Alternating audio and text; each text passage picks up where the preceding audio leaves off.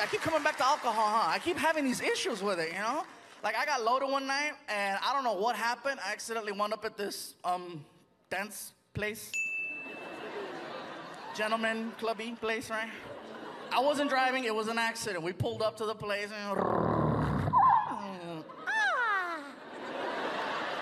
I knew where I was at. Even when you're drunk, you could be drunk and blind. You know where you're at as long as you hear, you know.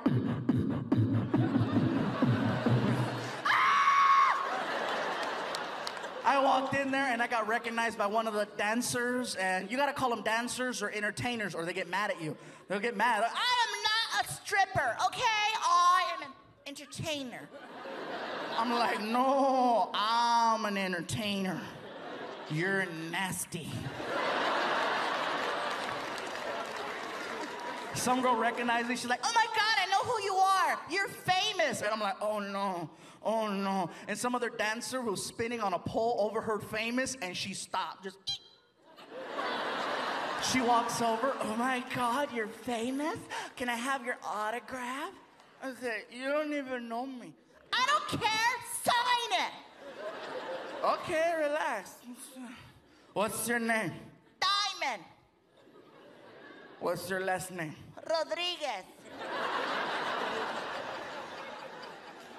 To Diamond. With all my love and affection. Hurry up. I got mad, so I wrote George Lopez.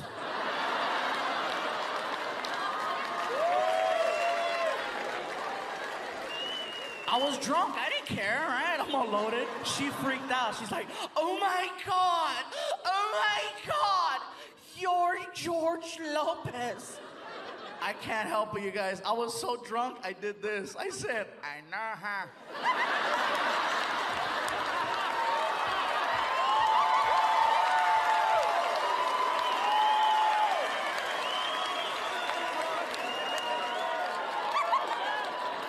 Hey, hey, cabrona, why you?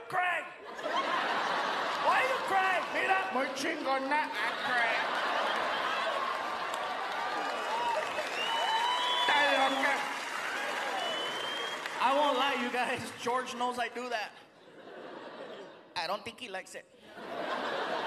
I've done that to a couple of other people, you know. I did that to Paul Rodriguez, and Paul was cool. Paul was really cool about it. He was like, you know, Hey, I heard there's a guy out there who knows how to talk like me. Is that you? I said, Yeah, that's me.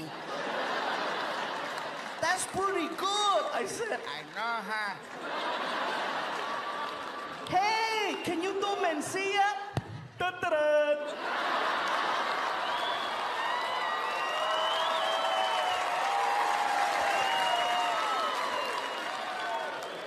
That's how you do it!